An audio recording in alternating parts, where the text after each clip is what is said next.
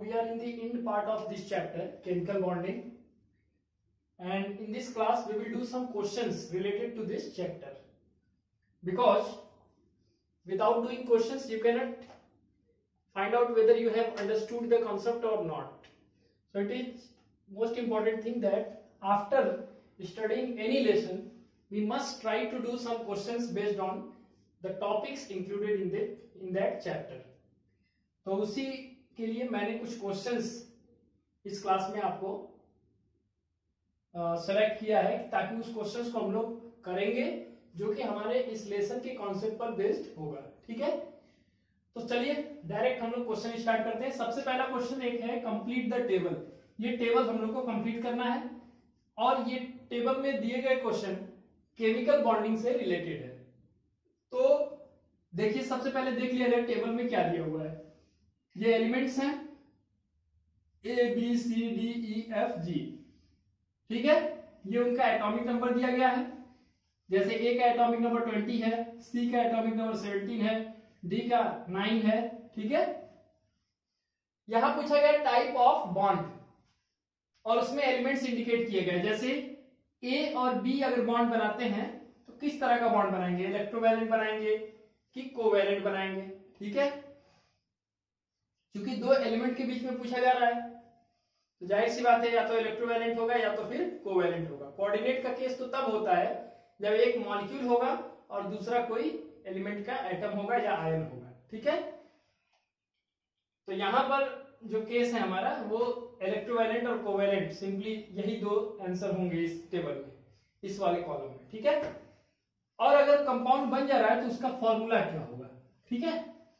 तो देखिए, पहले पता करने के लिए हमको क्या करना होगा? हम लोग जानते हैं कि इलेक्ट्रोवैलेंट बॉन्ड मेटल और नॉन मेटल के बीच में बनता है। जबकि कोवैलेंट बॉन्ड किसके बीच में बनता है?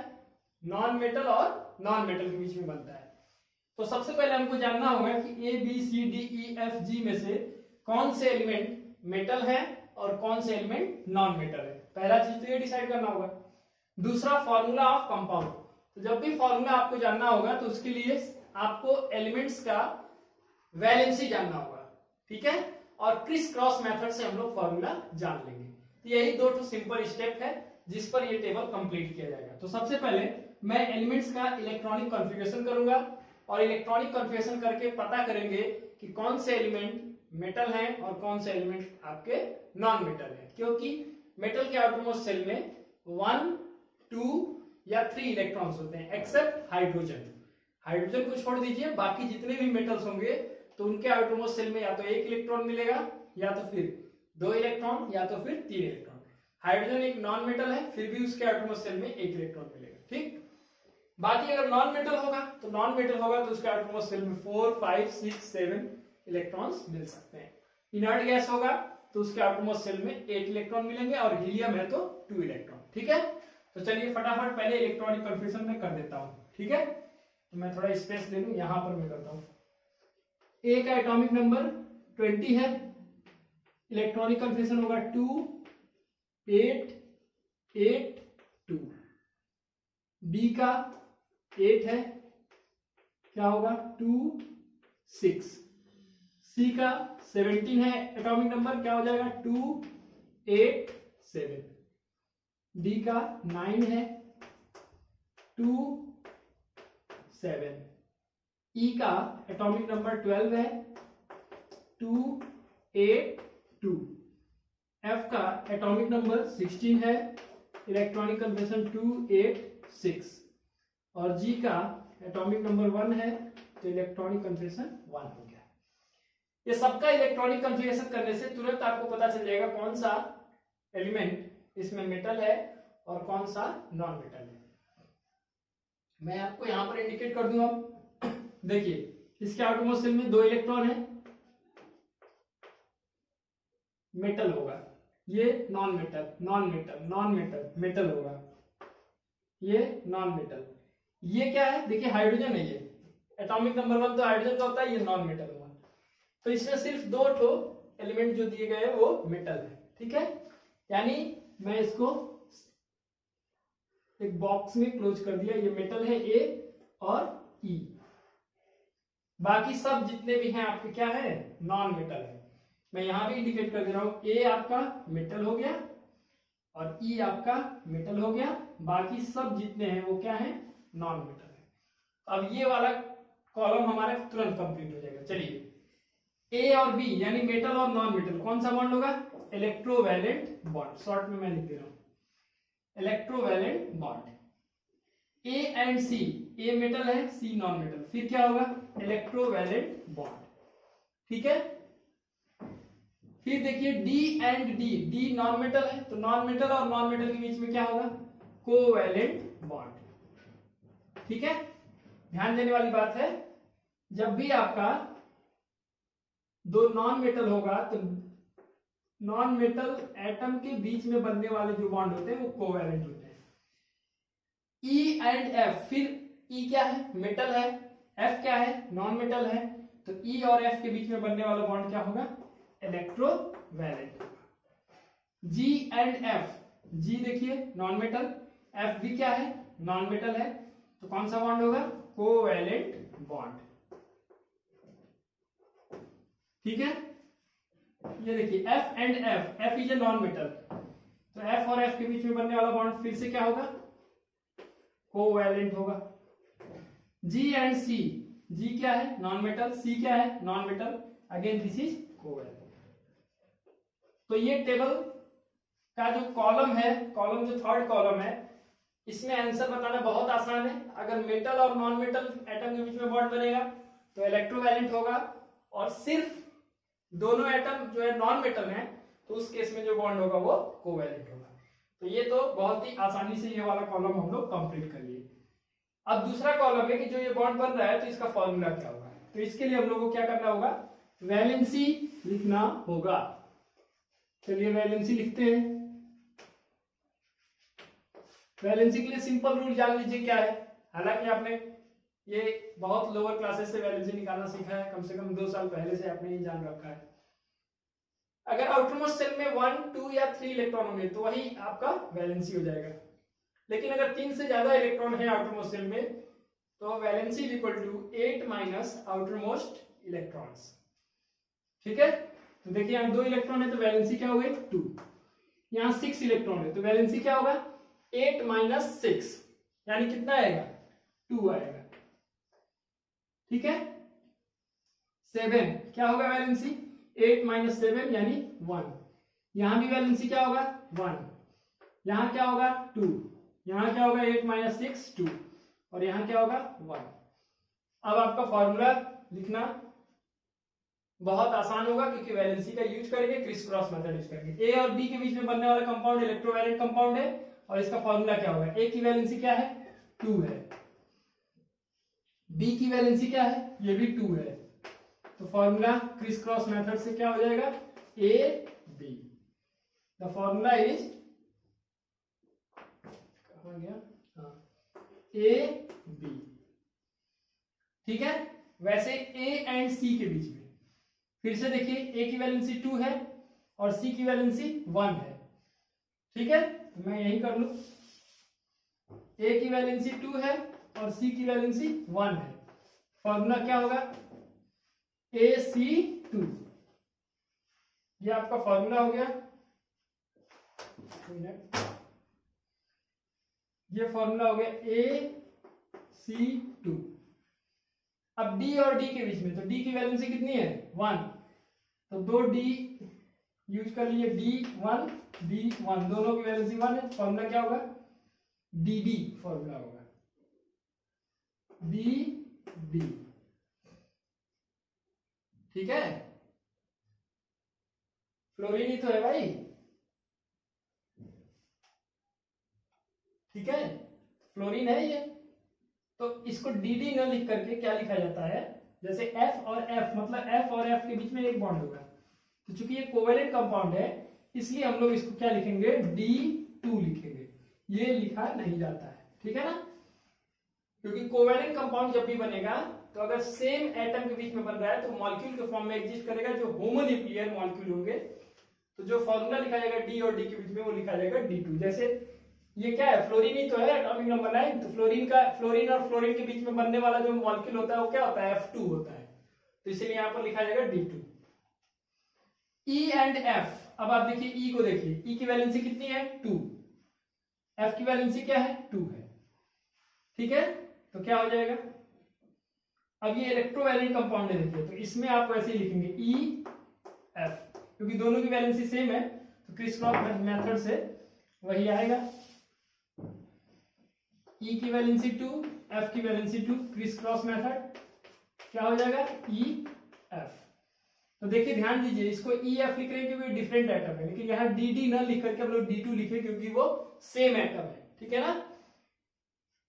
फिर देखिए जी एंड एफ़ जी और एफ़ के बीच में देखिए जी का वैलेंसी वन है एफ़ का वैलेंसी टू है। यही मैं बना दे रहा हूँ। जी की वैलेंसी वन एफ़ की वैलेंसी टू। तो क्या हो जाएगा फॉर्मूला जी टू एफ़ ठीक है? एफ़ और एफ़ के बीच में। एफ़ की वैलेंसी टू है। दूसरे, दोनों एफ़ की वैलेंसी टू होगी। क्रिस क्रॉस में कट जाएगा। तो क्या लिखेंगे हम लोग इसको? इसको लिखेंगे एफ़ टू। ठीक है ना? और जी एंड सी तो जी और सी के बीच में। वन और वन है। तो क्या हो जाएगा? जी सी हो जाएगा। ठीक है? तो इस तरह से ये आपका फॉर्मूला कंप्लीट हो गया। अब एग्ज़ाम में ऐसे ही क्वेश्चन दे दिए जाते हैं। देखिए कॉन्सेप्ट पर बेस्ड ऐसा नहीं कि हमको मेमोराइज करना है। एटॉमिक नंबर दिया हुआ एलिमेंट्स का, उसका इलेक्ट्रॉनिक कन्फेशन करिए। डिसाइड करिए कि उसमें से कौन से मेटल है, कौन से नॉन मेटल है। पहला काम। दूसरा काम ये होता है कि उसकी वैलेंसी पता कर लीजिए। वैलेंसी जब पता चल जाएगा तो क्रिस क्रॉस मेथड से आप फॉर्मूला भी बता लेंगे इस फॉर्मूला लिखने में ध्यान ये देना होगा कि अगर दो सिमिलर आइटम मिल गए, जैसे ये वाला केस था इसीलिए लिया गया है कि बच्चे यहाँ गलती करते हैं डीडी लिख देते हैं। तो अगर कोवेलेंट कंपाउंड बन रहा है और सेम आइटम है तो उस केस में हम लोग उसके मॉलिक्यूल को रिप्रेजेंट करेंगे, जैसे यहाँ दोनों डी और डी दिया गया है, दोनों नॉन मेटल है। कोवेलेंट बॉन्ड बन रहा है, जैसे फ्लोरीन और फ्लोरीन F2 होता है नाइट्रोजन नाइट्रोजन N2 होता है ऑक्सीजन ऑक्सीजन O2 होता है। तो उसी फॉर्म में इसको D2 लिखेंगे, ठीक है? तो ये आपको समझ में आया होगा, ये पहला क्वेश्चन मैंने लिया, जो कि टेबल के फॉर्म में है, ठीक है ना? तो ये टेबल कंप्लीट करने के बाद है जनरली फाइव मार्क्स क्वेश्चन होते हैं टेबल कंप्लीट करिए, आपका फुल मार्क्स आपको मिल जाता है, ठीक है ना? Okay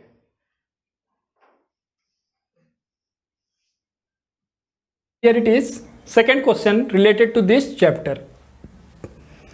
तो सबसे पहले क्वेश्चन को पढ़ लेते हैं, फिर उसके बाद से इसके कॉन्सेप्ट के अकॉर्डिंग हम लोग क्वेश्चन को सॉल्व करेंगे water is dash non polar और polar covalent molecule in which the atoms of hydrogen oblique oxygen attracts electrons more strongly towards itself. The water molecule shows the presence of double oblique, one single oblique two single, covalent bonds and dash 1 oblique 2 lone pair of electrons present in the dash hydrogen और oxygen atom means ये पूरा question water molecule से related है। तो सबसे पहले water molecule का हम लोग स्ट्रक्चर बना लेते हैं। देखिए वाटर मॉलिक्यूल एच टू उसका फॉर्मूला है। हाइड्रोजन के एटोमोस्फेयर में एक इलेक्ट्रॉन्स होते हैं ऑक्सीजन के आउटरमोस्ट सेल में सिक्स इलेक्ट्रॉन्स होते हैं, और इनके बीच में बॉन्ड का फॉर्मेशन इस तरह से एक इलेक्ट्रॉन इधर शेयर कर रहा है ऑक्सीजन और हाइड्रोजन दोनों, और एक इधर, जिसकी वजह से ये मॉलिक्यूल का फॉर्मेशन हो रहा है, इस तरह से। ये आपका वाटर मॉलिक्यूल है। अब इसी के बेसिस पर हम लोग ये सारे जो क्वेश्चंस हैं इसमें छोटे छोटे उसको सॉल्व करेंगे। पहला water is a non polar और पोलर तो हम जानते हैं कि हाइड्रोजन और ऑक्सीजन में ऑक्सीजन मोर इलेक्ट्रोनेगेटिव एटम होता है, जिसकी वजह से वो शेयर्ड पेयर ऑफ़ इलेक्ट्रॉन को अपनी तरफ़ अट्रैक्ट करता है। ऑक्सीजन पर पार्शियल नेगेटिव चार्ज आ जाएगा और दोनों हाइड्रोजन पर पार्शियल पॉजिटिव चार्ज आ जाएगा। तो ये कैसा कंपाउंड है? पहली बात तो नॉन मेटल के बीच में बॉन्ड बन रहा है इसमें, इसलिए कोवेलेंट कंपाउंड है। दूसरी बात कि जो एटम के बीच में कोवेलेंट बॉन्ड बन रहा है, उनकी इलेक्ट्रोनेगेटिविटी सेम नहीं है। Oxygen is more electronegative than hydrogen so surely the shared pair of electron is not equally shared इसमें इक्वल शेयरिंग नहीं होता इलेक्ट्रॉन्स का, इसीलिए चार्ज सेपरेशन हो जाता है। और ये कैसा कंपाउंड है? पोलर कोवेलेंट कंपाउंड पहला यहाँ पर होगा हमारा पोलर ठीक है? Covalent molecule in which the atoms of hydrogen और oxygen attracts electrons more strongly तो हम जानते हैं कि oxygen is more electronegative oxygen is more electronegative so it will attract electrons more strongly तो यहाँ पर हमारा क्या होगा? Atoms of oxygen attracts electrons more strongly towards itself the water molecule shows the presence of double क्या double bond है इसमें? नहीं है। क्या केवल एक सिंगल बॉन्ड है? नहीं, दो सिंगल बॉन्ड है। तो क्या होगा? Two single covalent bonds and lone pair कितने हैं? एक ऊपर दिख रहा है, एक नीचे दिख रहा है। यानी यहाँ क्या होगा?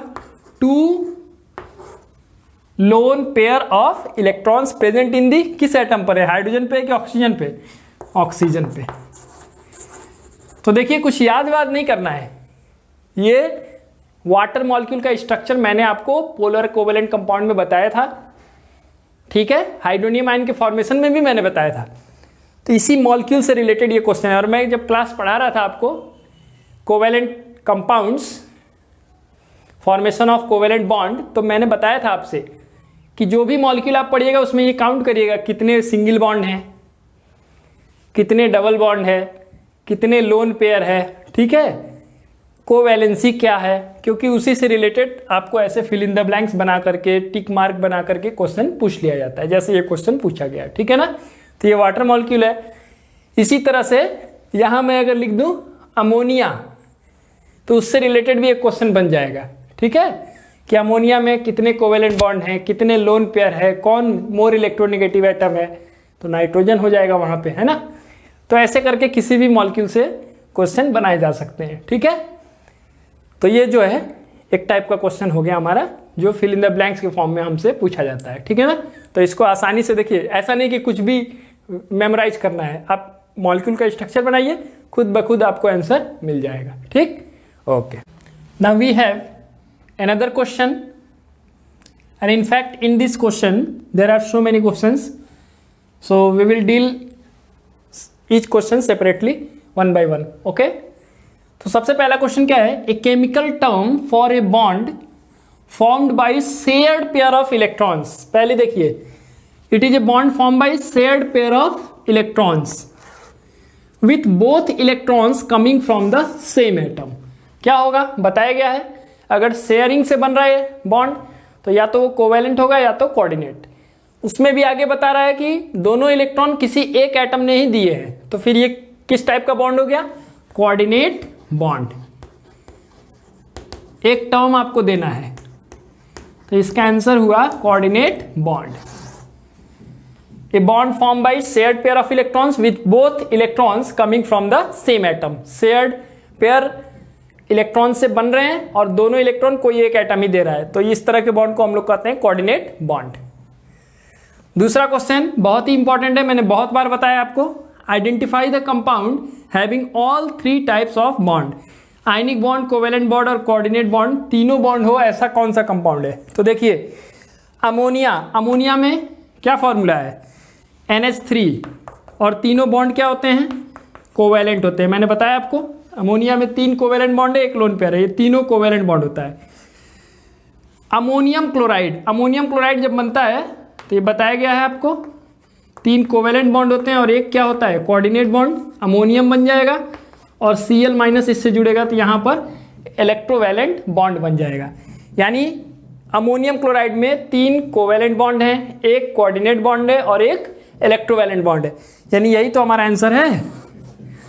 और मैंने कई बार आपसे ये बात कहा है कि अमोनियम क्लोराइड एक ऐसा कंपाउंड होगा जिसमें तीनों टाइप के बॉन्ड पाए जाएँगे। अमोनियम के जितने भी सॉल्ट होंगे, वो सब इस कैटेगरी में आते हैं। Sodium hydroxide sodium is metal hydroxide ion O H O H में आपका एक कोवेलेंट होगा, लेकिन ओ एच और ओ एच नेगेटिव आयन है, और सोडियम क्या है? पॉजिटिव आयन है। तो इनके बीच में जो बनेगा बॉन्ड वो हो जाएगा आपका इलेक्ट्रोवैलेंट अब सोडियम हाइड्रोक्साइड की बात करें तो इसमें दो तरह की बॉन्ड पाई जाएगी। मैं यहाँ लिख दे रहा हूँ, जगह है नहीं। सोडियम आयन होता है इसमें, और ओ OH नेगेटिव होता है। तो ये कोवेलेंट है और इनके बीच में इलेक्ट्रोवैलेंट है। लेकिन तीनों टाइप का बॉन्ड नहीं पाया गया, सिर्फ़ दो टाइप के बॉन्ड है उसमें इलेक्ट्रोवैलेंट और covalent calcium chloride C A C L two ये आप जान रहे हैं कैल्शियम क्लोराइड में केवल इलेक्ट्रोवैलेंट बॉन्ड पाया जाएगा। यानी अमोनियम क्लोराइड एक ऐसा कंपाउंड है जिसमें इलेक्ट्रोवैलेंट जिसको आयनिक बॉन्ड कहते हैं कोवैलेंट और कोऑर्डिनेट तीनों टाइप के बॉन्ड पाए जाएँगे। ये बहुत ही इंपॉर्टेंट क्वेश्चन है, बहुत बार पूछा गया है। State which is not a typical property of an ionic compound कह रहा है, इसमें से आपको सेलेक्ट करना है कि कौन सा प्रॉपर्टी आयनिक कंपाउंड का नहीं होता है which is not a typical जल्दीबाजी में कभी कभी बच्चे जो होते हैं डायरेक्ट वो प्रॉपर्टी लिख देते हैं जो कि उसका प्रॉपर्टी है। जबकि उस क्वेश्चन में पूछा गया है कि दिए गए प्रॉपर्टी में से कौन सा प्रॉपर्टी आयनिक कंपाउंड का नहीं होता है। ठीक है ना? Which is not a typical property of ionic compound पहला लिखा है हाई मेल्टिंग पॉइंट ये होता ही होता है। हम लोग जानते हैं कि electrovalent compound is formed between ions and there is strong electrostatic force of attraction बहुत स्ट्रॉन्ग फोर्स उनके बीच में काम करता है आयंस के बीच में। इसीलिए वो हार्ड होते हैं। उनकी melting point boiling point high होती है। तो ये तो सही बात है। They have high melting point दूसरी बात they conduct electricity in molten state और एक्वा सोल्यूशन ये भी सही है। सॉलिड स्टेट में कोई भी आयनिक कंपाउंड इलेक्ट्रिसिटी कंडक्ट नहीं करता है। लेकिन मॉल्टेन स्टेट यानी उसको गर्म करके अगर पिघला दिया जाए, या फिर एक्वा सोल्यूशन में, यानी वाटर में उसको डिजोल्व करके एक सॉल्यूशन बना दिया जाए तो जो आयन सॉलिड स्टेट में स्ट्रॉन्ग फोर्स ऑफ़ अट्रैक्शन से बंधे हुए थे, वो सेपरेट हो जाते हैं। और जब सेपरेट हो जाते हैं तो ionic conductance sorry electrical conductance उसमें होने लगता है। तो ये भी बात सही है कि they conduct electricity in molten state और एक्वा सोल्यूशन तीसरी बात आर इनसॉल्युबल इन वाटर ये तो गलत है। यानी यही आपका सही आंसर हुआ। क्योंकि आयनिक कंपाउंड जो होते हैं, वो वाटर में आसानी से घुल जाते हैं। तो this property does not belong to ionic compound और इस क्वेश्चन में यही पूछा है कि कौन सा प्रॉपर्टी आयनिक कंपाउंड का नहीं होता है। तो ये प्रॉपर्टी नहीं होता है। Rather we know that ionic compounds are soluble in water last तो सही बात लिखा है exist as oppositely charge ions even in solid state तो सॉलिड स्टेट में भी वो अपोजिटली चार्ज आयंस के फॉर्म में रहते हैं। बिल्कुल रहते हैं, क्योंकि इलेक्ट्रोवैलेंट बॉन्ड बनने से पहले ही आयंस बन जाते हैं। आयंस के बीच में अपोजिट चार्ज होने की वजह से एक अट्रैक्शन क्रिएट होता है जो कि आयनिक बॉन्ड है। तो even in solid state ionic compounds exist as oppositely charge ions so this one is our answer because this is not a typical property of ionic compound चौथा question क्या है? Compare C C L four and N S C L with respect to solubility in water C C L four क्या है? C C L four एक covalent compound है, वो भी non polar covalent compound तो C C L four जो होगा, ये इनसॉल्यूबल है वाटर में जबकि सोडियम क्लोराइड क्या है? आयनिक कंपाउंड है। तो ये क्या होगा? Soluble in water. आपको सॉल्युबिलिटी ही बताना था। मैंने आपको बताया था कि water is polar solvent. So it dissolve all type of compounds which belong to electrovalent compound category ठीक है? जितने भी ऐसे कंपाउंड होते हैं, जो इलेक्ट्रोवैलेंट कंपाउंड होते हैं, वो वाटर में घुल जाते हैं। क्यों? Water is a polar solvent ठीक है वाटर अभी मॉलिक्यूल मैंने आपको बताया कि वाटर पे चार्ज सेपरेशन होता है। चार्ज सेपरेशन होने की वजह से वाटर एक पोलर मॉलिक्यूल है। तो उसमें आयनिक कंपाउंड आसानी से घुल जाएँगे। जबकि जो नॉन पोलर कोवेलेंट कंपाउंड है या कोवेलेंट कंपाउंड जिस पे चार्ज नहीं होता है, वो वाटर में घुलेंगे नहीं। इसके लिए सिंपल सा रूल होता है लाइक डिजॉल्व्स लाइक मतलब जो आयंस वाले कंपाउंड होंगे, वो वाटर में घुल जाएँगे ऑर्गेनिक सॉल्वेंट में नहीं घुलेंगे, जैसे कार्बन टेटाक्लोराइड बेंजीन, ठीक है? इनमें वो नहीं घुलेंगे, लेकिन वाटर में घुल जाएँगे। जबकि ऐसे मॉलिक्यूल्स जिन पे कोई चार्ज नहीं होता है, जैसे आप बात करें मीथेन का, कार्बन टेट्राक्लोराइड का, इनमें कोई चार्ज नहीं होता है तो ये वाटर में डिजॉल्व नहीं होते हैं, ठीक है ना? तो ये आपको सॉलिबिलिटी केवल लिखना था, बता देंगे। C C L four is insoluble in water while sodium chloride is soluble in water ठीक है? तो इस तरह से ये क्वेश्चन के हमने आंसर जान लिए। ठीक है?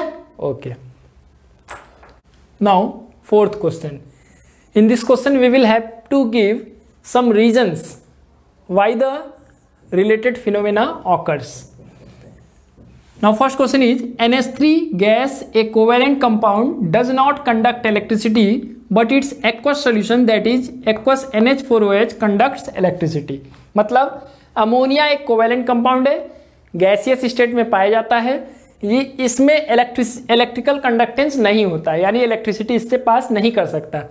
जबकि इसी अमोनिया गैस को वाटर में डिजोल्व कर दिया जाए तो एक एक्वस सॉल्यूशन बन जाता है aqueous N H four H ammonium hydroxide का सॉल्यूशन बन जाता है, वो इलेक्ट्रिसिटी कंडक्ट करने लगता है। क्यों? तो बहुत सिंपल सा रीजन है। Because the aqueous solution of ammonia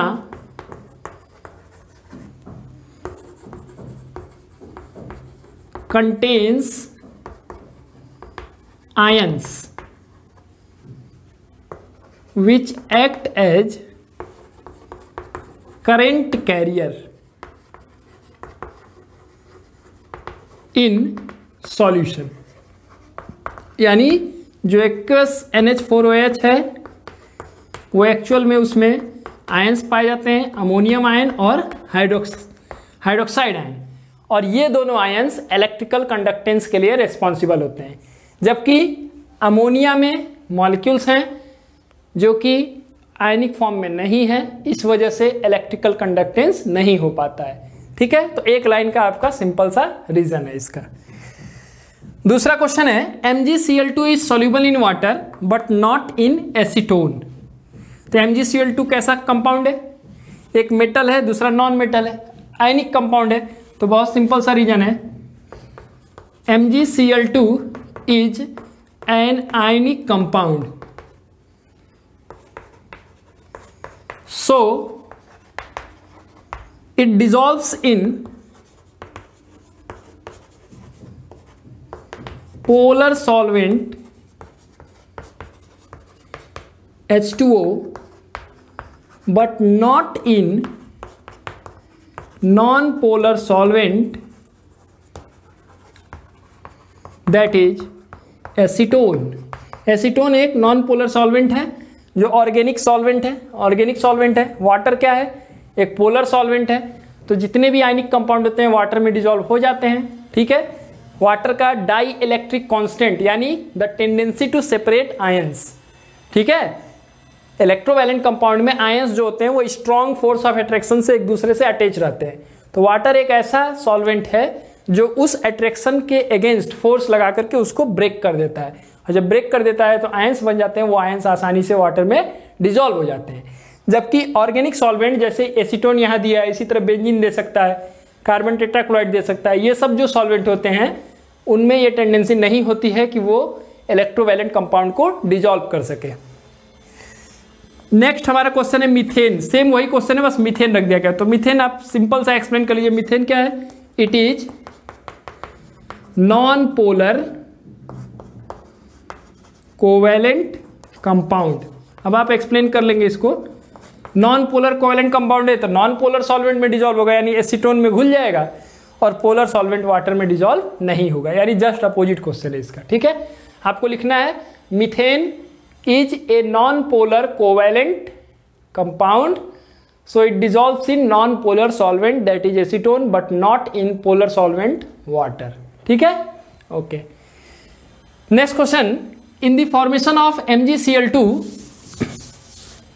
in the formation of M G C L two magnesium atom loses two electron from its valence shell कह रहा है कि मैग्नीशियम क्लोराइड कंपाउंड के बनते समय मैग्नीशियम केवल दो इलेक्ट्रॉन ही क्यों रिमूव करता है?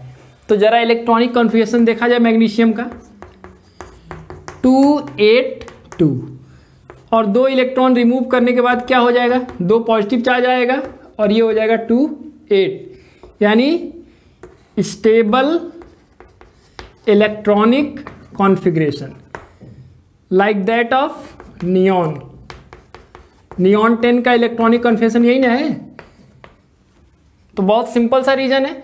After losing two electrons the electronic configuration of magnesium becomes stable and therefore it loses two electron एक एक अगर रिमूव करेगा तब भी स्टेबल नहीं होगा। दो से ज़्यादा रिमूव करेगा तब भी स्टेबल नहीं होगा। सिर्फ़ दो ही इलेक्ट्रॉन वो रिमूव करेगा। क्यों करेगा? क्योंकि दो इलेक्ट्रॉन रिमूव करने से उसका इलेक्ट्रॉनिक कॉन्फ़िगरेशन स्टेबल हो जाएगा।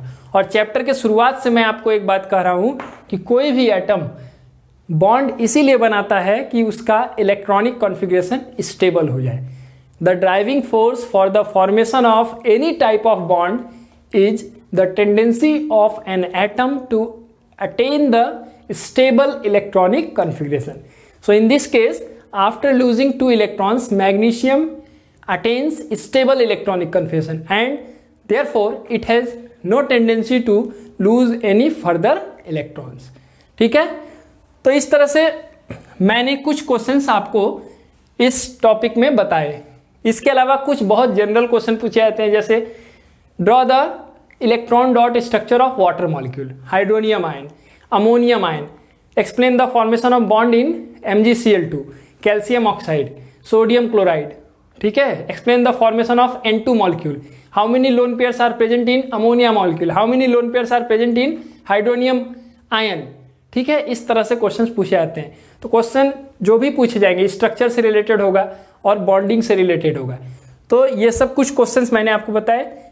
अब ये नहीं है कि इतने ही क्वेश्चन हैं, बहुत सारे क्वेश्चन हैं। आप जो भी टेक्स्ट बुक आप प्रीफर कर रहे हैं, ठीक है? उस टेक्स्ट बुक में जितने भी क्वेश्चन हैं, सभी आप सॉल्व करिए। कोई डाउट हो, आप पूछ लीजिए उसको। ठीक है ना? लेकिन क्वेश्चंस सारे करिए। क्वेश्चंस करने से आपको एक ऐसा अंडरस्टैंडिंग डेवलप होगा चैप्टर का कि आपको बार बार उस चीज़ को रिवाइज भी नहीं करना पड़ेगा, वो हमेशा के लिए आपके लिए ईजी होगा। ठीक है ना? तो मैं यही सजेस्ट करूँगा कि आप इसके अलावा भी बहुत सारे क्वेश्चन होंगे। कभी कभी एक लेसन में 50 से 60 क्वेश्चन करने से उसका कॉन्सेप्ट आपका क्लियर हो जाता है। तो टाइम लीजिए, पूरा टाइम लीजिए, जितना भी टाइम आपका है, वो जो भी मिस्चीवियस एक्टिविटीज़ है, उसको रिमूव करिए लाइफ से और उसको कंस्ट्रक्टिव वे में यूटिलाइज करिए। जो टाइम आपके पास है, उसको आप पढ़ने में यूटिलाइज करिए। जो लेसन आपने पढ़ा, केवल उसका नोट्स बनाना ही काम नहीं है नोट्स बना लीजिए। फिर जो भी क्वेश्चंस हैं, ठीक है? आपके टेक्स्ट बुक में बहुत सारे क्वेश्चंस दिए होंगे। कुछ बोर्ड्स के क्वेश्चन होंगे, कुछ कम्पिटेटिव एग्ज़ाम्स के क्वेश्चन होंगे।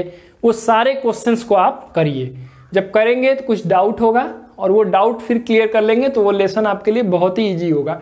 बिना कोई बार बार रिवाइज किए, ठीक है?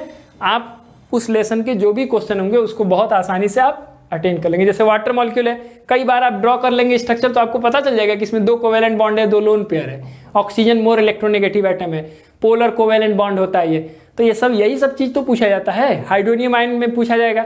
आप आसानी से बता देंगे हाइड्रोनियम आयन में क्या है? दो कोवेलेंट बॉन्ड है, एक कोऑर्डिनेट बॉन्ड है, ऑक्सीजन के पास एक लोन पेयर है, ठीक है? टोटल बॉन्ड चार है। तीन है, सॉरी, चार कर रहा हूँ। चार तो अमोनियम में है, ठीक है ना? तो इस तरह से जितनी बार आप स्ट्रक्चर बनाएँगे, लिखेंगे क्वेश्चन करेंगे, उतना ही कॉन्सेप्ट आपका शार्प होगा स्पीडी होगा और एक्यूरेट होगा, ठीक है? तो सभी लोग इसको करिएगा, ठीक है ना? Okay thank you